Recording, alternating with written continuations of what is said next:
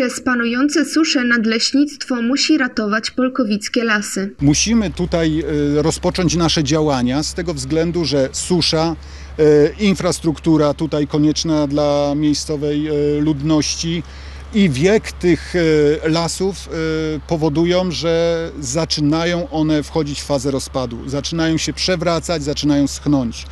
Widać tu zresztą taki obrazek, gdzie przed kilku dni e, to drzewo się przewróciło i zaczynają te drzewa stwarzać tutaj już poważne zagrożenie dla wypoczynku i e, aktywności fizycznej mieszkańców. My Wytniemy tutaj kilkaset drzew, natomiast posadzimy kilkanaście tysięcy do kilkudziesięciu.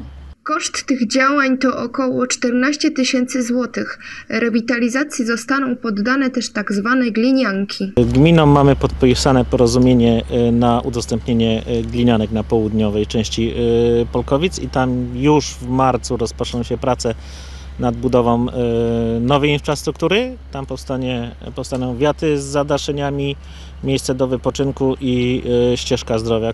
Mimo wycinki drzew na ścieżce zdrowia zostanie zwiększone bezpieczeństwo, tak aby mieszkańcy Polkowic nadal mogli użytkować te tereny do celów rekreacyjnych. Z Polkowic Martyna Matusiak.